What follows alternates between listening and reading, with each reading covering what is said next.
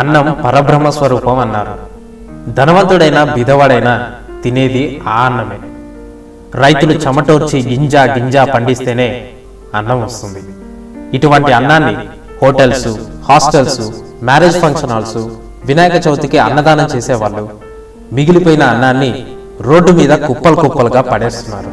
ఈ దృశ్యం Chikkadpally main road పక్కనే ఉన్న లక్షల కొద్ది వాహనాలు రోజు తిరిగే ప్రదేశంలోనే తీయడం జరిగింది.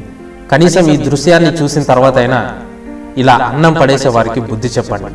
ఎంతో మంది అన్నమో రామచంద్ర అని ఆకలితో అలమటిస్తుంటే ఇలా వృధా చేయడం మన సంస్కారం కాదు. ఒక్కసారి ఆలోచించండి.